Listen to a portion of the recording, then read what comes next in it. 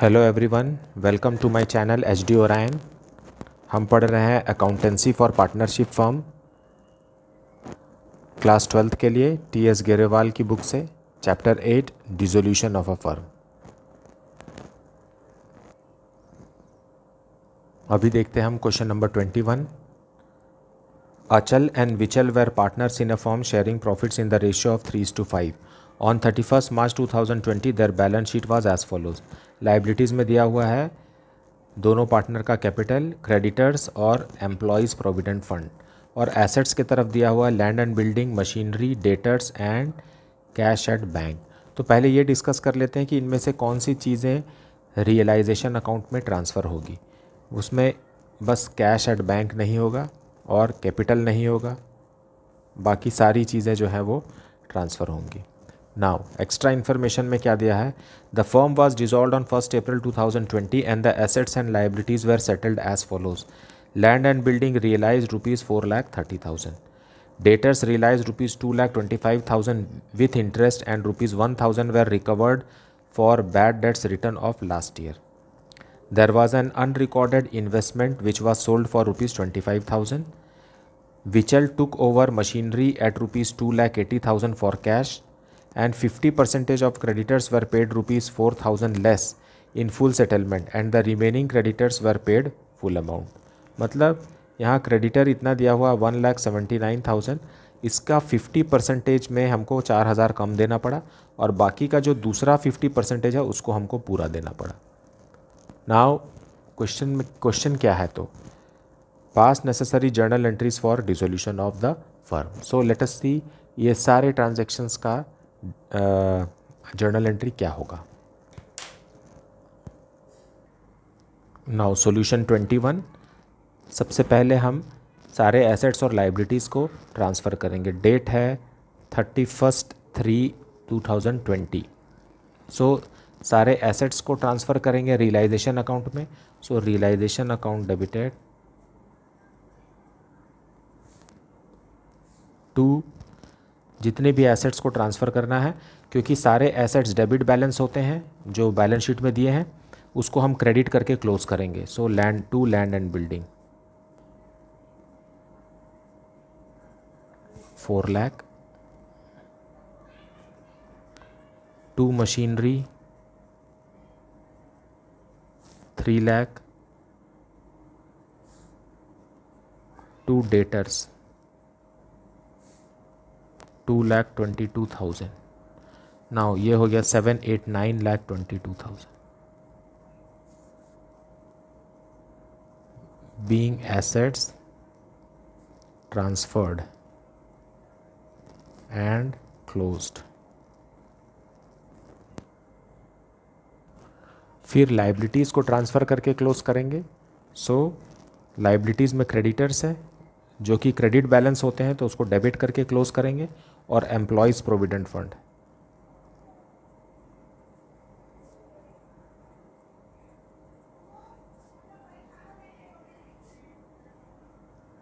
so creditors हैं हमारे पास one lakh seventy nine thousand and E P F है twenty one thousand to realisation account two lakh being liabilities transferred and closed.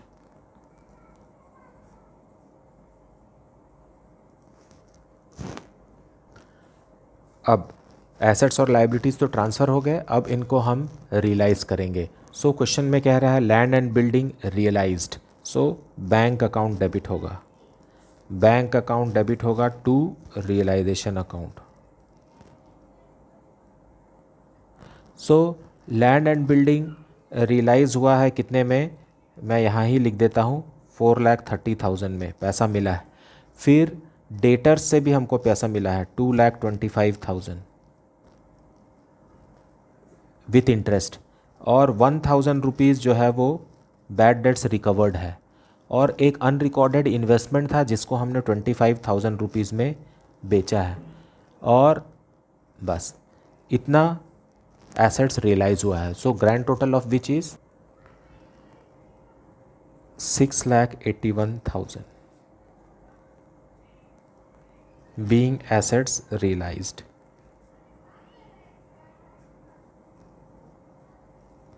अब आगे question में लिखा हुआ है कि Vishal took over machinery at rupees two lakh forty thousand for cash so Vishal, हालाँकि ये विशाल ही ले गया है लेकिन वो कैश देकर ले गया तो इसलिए विचल नॉट विशाल विचल के कैपिटल अकाउंट को क्रेडिट नहीं करें डेबिट नहीं करेंगे।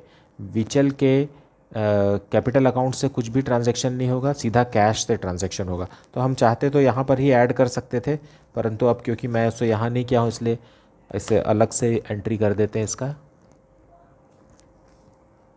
Bank account debited to realisation account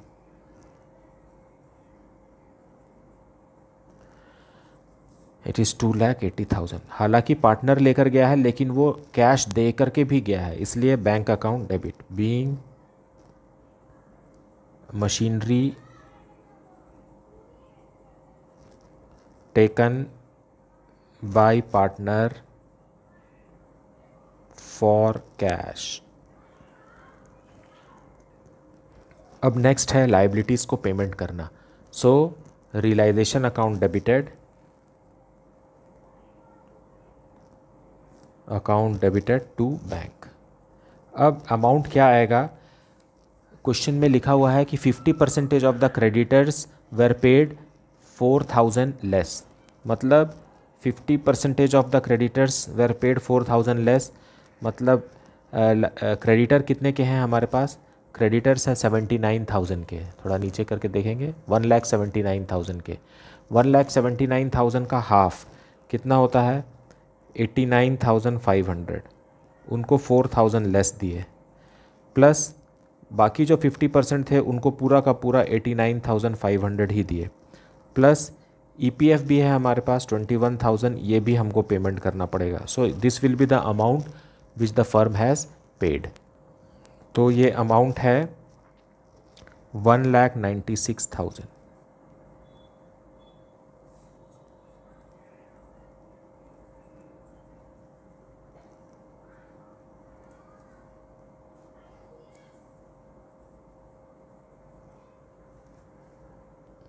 now अब रियलाइजेशन में क्रेडिट बैलेंस है सो रियलाइजेशन अकाउंट डेबिटेड ये प्रॉफिट हो गया रियलाइजेशन में forty three thousand rupees profit आया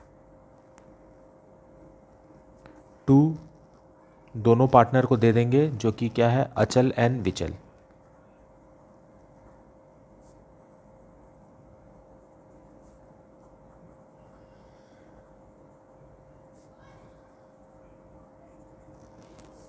इनका रेशो है three is two five so first partner will get sixteen thousand one twenty five and second partner will get 26875 being profit on realisation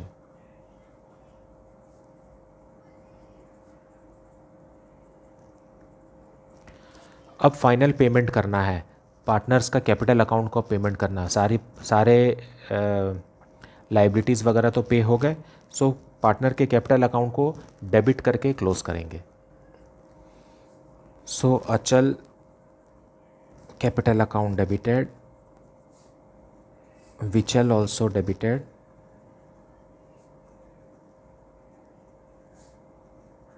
To, bank being final payment made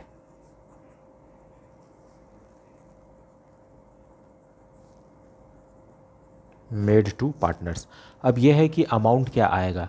so so, amount पहले अचल का कितना है? Three lakh था जो balance sheet में दिया है प्लस रियलाइजेशन का profit one six one twenty five उसी तरीके से विचल का है फाइव लाख ओपनिंग बैलेंस है plus twenty six thousand eight seventy five दोनों को ऐड करके पेमेंट करेंगे। So it will be here three lakh sixteen thousand one twenty five and five lakh twenty six thousand eight seventy five so ये हो गया eight lakh forty three thousand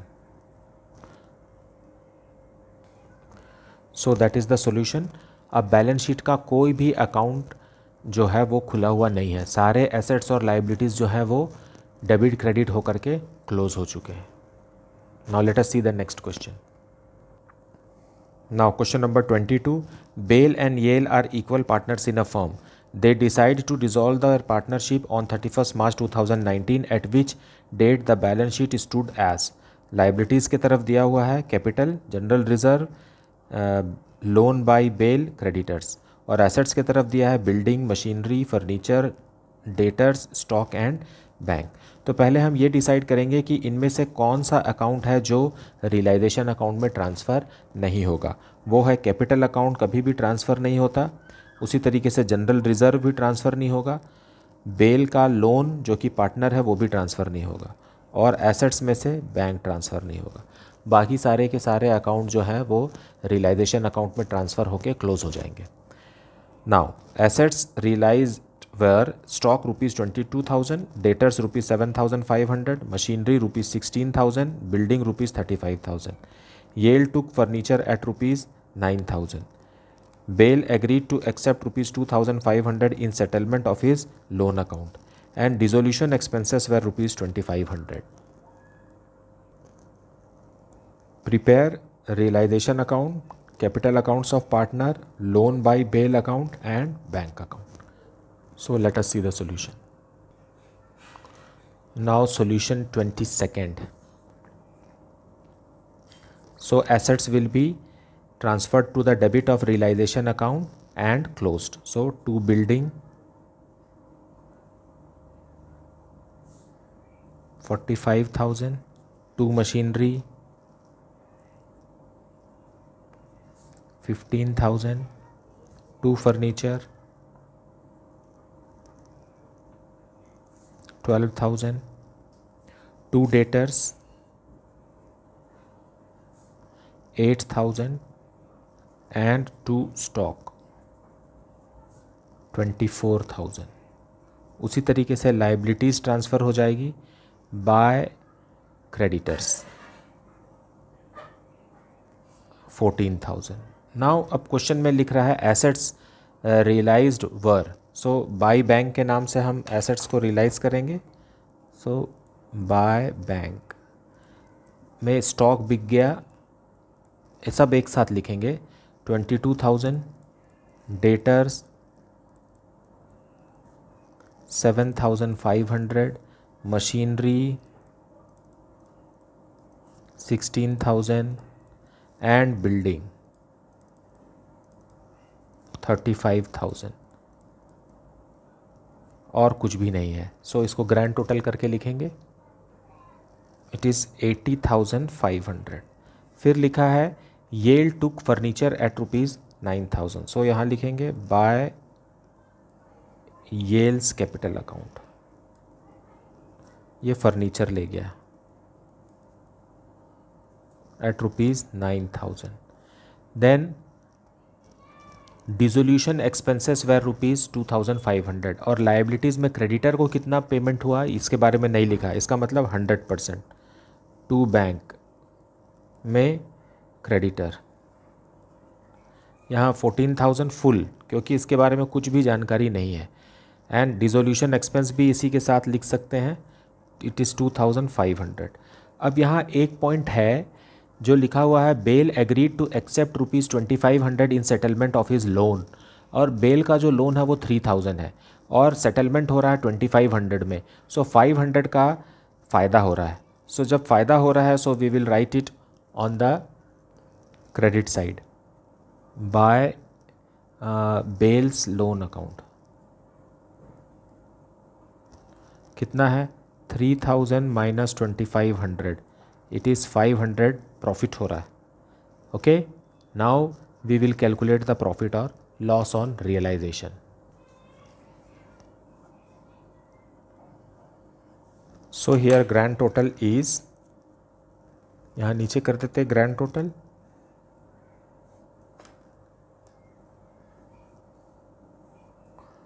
one lakh twenty thousand five hundred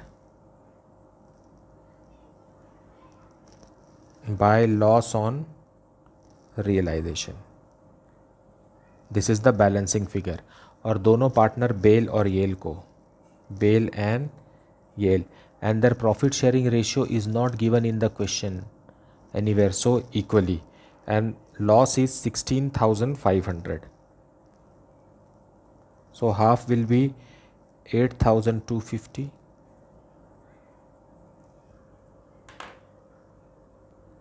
now we will prepare partners capital account. Now by balance brought down जो balance sheet में दिया हुआ है fifty thousand and forty thousand then general reserve भी है so by general reserve profit sharing ratio is not given in the हाँ it is written equal partners so four thousand each then loss on realization?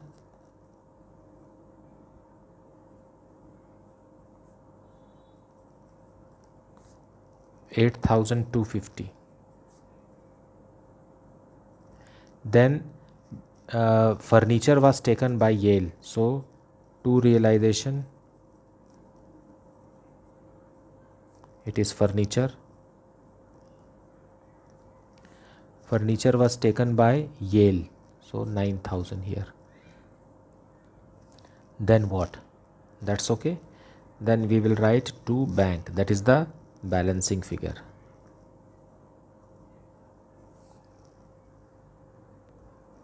So credit side is heavier. So we will write here the closing balance. Grand total here is 54,000 to make it 54,000 here BAIL will receive 45,750 and 44,000 44,000 and Yale will receive 26,750 now that is the balancing figure. With this amount the partnership will be closed. Now we will prepare uh, BAIL's loan account then after cash account.